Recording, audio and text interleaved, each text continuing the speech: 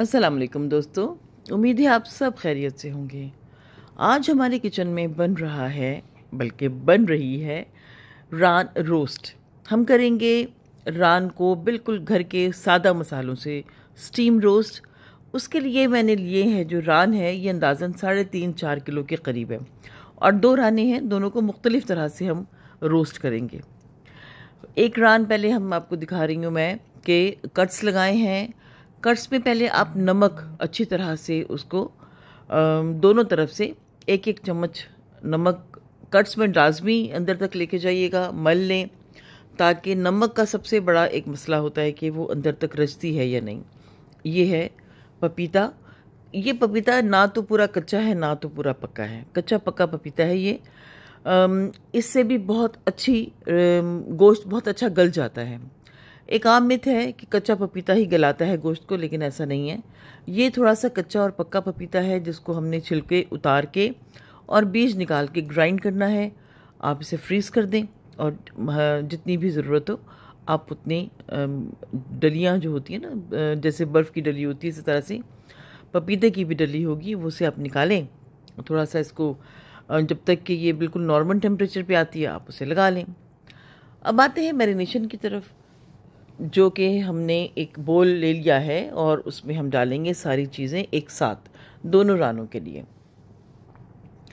एक कप है जो कि अंदाज़न एक पाव से ज़्यादा, डेढ़ पाव के करीब दही है और तीन खाने के चम्मच है सुर्ख मिर्च। आप अपने टेस्ट के हिसाब से डालिए और आपने जो दिल चाहे, आप इसमें जैसा भी मसाला डालना चाहें डालें, लेकिन मिर्च जो है वो तीन से चार चम्मच बेहतरीन रहेगी।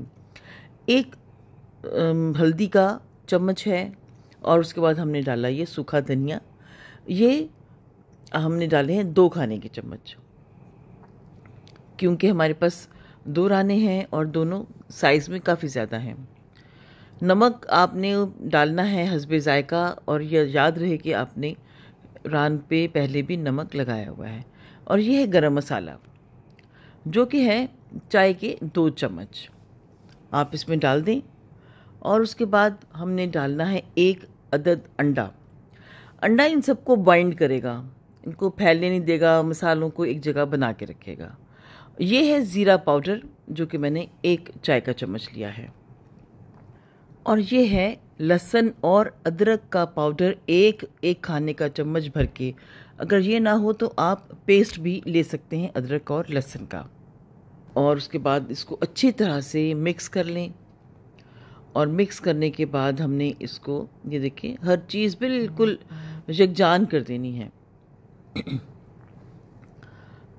बिल्कुल एक सा करने के बाद हमने ये सारा मसाला एक तरफ़ रखा और जो भी आपने बर्तन इस्तेमाल करना है उसे अपने सामने रखें। मैंने ये प्लास्टिक का मेरे पास एक टब है जो गहरा है और इसमें हमने अच्छी तरह से लगाना है मसाला। जो कट्स हैं, स्पेशली उसमें आपने बहुत भर के, हाथ भर के उसमें मसाला डालना है ताकि नमक, मिर्च और बाकी जो खुशबूयात हैं, जो मसाला जात हैं, क्योंकि मसालों की अपनी अपनी खुशबू होती है और आप उसको ज़रूर दिखा करें कि मसालों की कैसी खुशबू है। हर मसाले की अपनी एक अलहदा ही रंगत है, अलहदा ही खुशबू है। इसी तरह से हमने अपने दूसरी चिकन को भी जिसे कट लगाया हुआ था, इस गहरे पतीले में रख देंगे। और ये देखिए, मैंने इसको भी मसाला लगा लिया है। अब हम इन दोनों रानों को अलग अलग फ़ाइल से कवर करके फ्रिज में रख देंगे ओवरनाइट और ओवरनाइट यानी कि एक रात के बाद, पूरे 24 घंटों के बाद हमने ये मसाले आपके सामने हैं। तेज़पत्ता है, सौंफ है, सब्ज़ इलायची है, बादियान है और जायफल जावत्री है, जो कि हमने बड़े से पतीले में डालना है, जिस जहाँ पे हमने स्टीम करना है। आधा पतीला पानी से भर देंगे, ऊपर हमने रख दी है छलनी और ये हम निकाल के आपको मैं दिखाती हूँ। मसाला लगी रान और जो मसाले के, रान के ऊपर जो मसाला बच गया था, यानी कि जो नीचे रह गया है जो उसके ऊपर नहीं लगा है, वो भी हम इस पर अच्छी तरह से इसको मल देंगे, मसाला लगा देंगे रान के ऊपर और उसे फिर हम रैप कर देंगे। इसी फाइलर से रैप करेंगे, ज़रूरत पड़ेगी तो हम और भी फाइलर लेंगे और उसको बिल्कुल ऐसे रैप करना है कि कोई भी भाप या गर्मी बाहर ना जाए।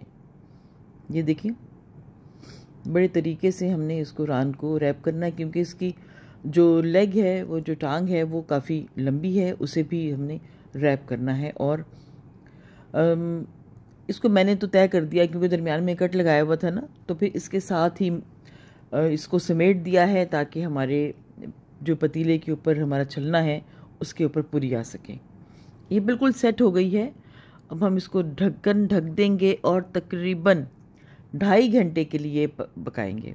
आप इससे ज़्यादा भी बना सकते हैं। ये भी कोई इसमें मसला नहीं है। आप तीन घंटे भी इसको टाइम दे सकते हैं। और ढाई घंटे तक हमने इसको बिल्कुल नहीं खोलना। और जब हम ढाई घंटे हो गए, चूल्हा बंद कर दिया और उसमें भी हमने 10 से 15 मिनट तक रहने दिया। और ये देखें, इतना इसको नॉर्मल टेम्परेचर पे करके हमने उतारा है कि हाथ से हाथ गर्म नहीं हुए हैं। बर्तन बिल्कुल नॉर्मल हो चुका हुआ है। अब हम इसको फ़ाइल पेपर को निकाल रहे हैं। कम से कम इसको हाथ से नहीं निकाल सकते क्योंकि ये बहुत ज़्यादा गर्म है। अभी आप देखें, ये कितना अपर साइड कितनी गल चुकी है इसकी।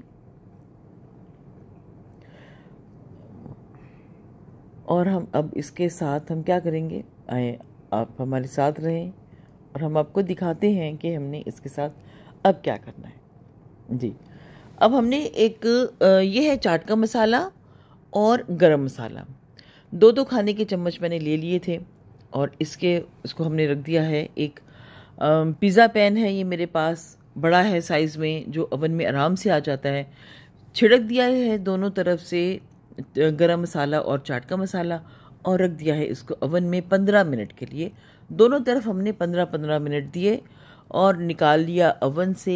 ये बटर है बटर को हम लगाएँगे अपनी रान पर, क्योंकि वो एक ड्राइनेस आ जाती है ना तो फिर बटर लगाएँगे तो वो चमकदार रहेगी।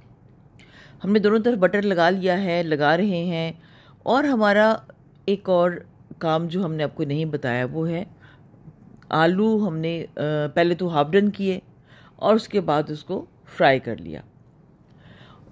ये वो आलू हैं, ये नॉर्मल जैसे होते हैं चिप्स वैसे नहीं बनाए हैं। ये आलू थोड़े से मोटे काटे हुए हैं। रान के साथ थोड़ी सी हरी मिर्ची थी, वो भी हमने इसी तरह से फ्राई कर ली। और ये देखें, इन दोनों पे भी हम चाट का मसाला छिड़क दिया, मिर्चों पे भी और आलूओं पे भी। और बहुत मज़े की स्टीम रान रोस्ट या रान स्टीम रोस्ट तैयार है। देखें, बहुत जल्दी बनती है नहीं, बनती तो जल्दी नहीं है टाइम लेती है, लेकिन इसमें ऐसे कोई मसाले नहीं हैं जो आपके लिए मसला पैदा करें। इंजॉय करें, दिलशाद नसीम को इजाज़त दें, फिर मिलेंगे, अल्लाह हाफिज़।